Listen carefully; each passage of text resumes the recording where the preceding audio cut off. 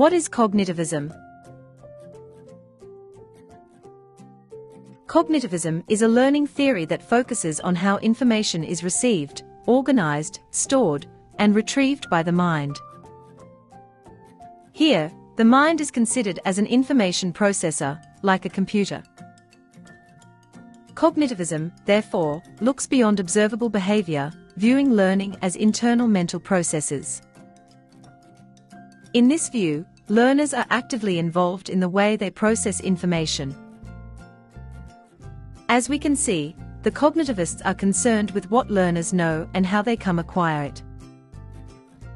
Just like the behaviorists, the cognitivists observe changes in behavior, but only as an indication of what is going on in the learner's mind.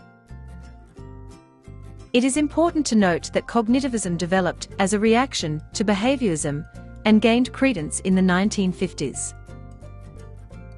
In fact, the cognitivists objected to the behaviorists because they felt that the latter thought learning was simply a reaction to a stimulus and ignored the idea that thinking plays an important role. Although many researchers contributed to the development of cognitivist learning theory, such as Bruner, Vygotsky, and Bloom, Piaget's views had a tremendous impact. Spurred by the work of Piaget, the cognitivists viewed knowledge as symbolic mental constructs, or schemata. For the cognitivists, when a learner's schemata are changed, learning takes place. Some of the central principles in cognitivism and their implications in the classroom are 1.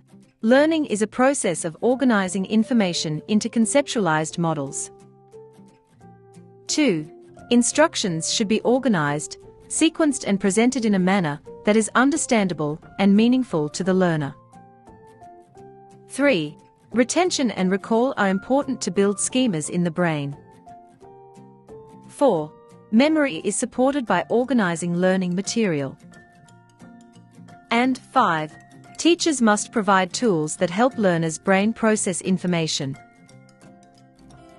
I have identified three technology tools that I think would be helpful or effective for a cognitive learner like myself.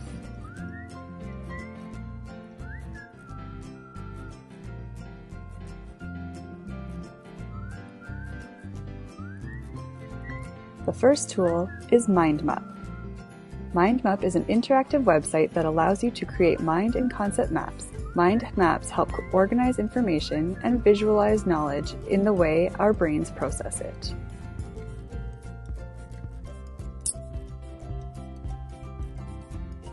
My second tool is OneNote. OneNote is an online note taking program that allows you to easily organize information as you type. You can create notebooks, sections, and pages to keep information easy to access and understand.